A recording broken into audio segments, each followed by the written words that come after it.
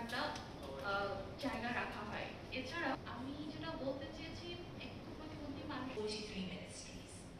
The government has shown কে এই monitoring বা ইভ্যালুয়েশনটা করবে? অর্থাৎ ministry of women and children affairs তারা লিড করবে নাকি মিনিস্ট্রি অফ ফিনান্স লিড করবে? এটা কি ভাবা হয়েছে? Gender equality, as you know, is recognized. Jointly with Ministry of Finance.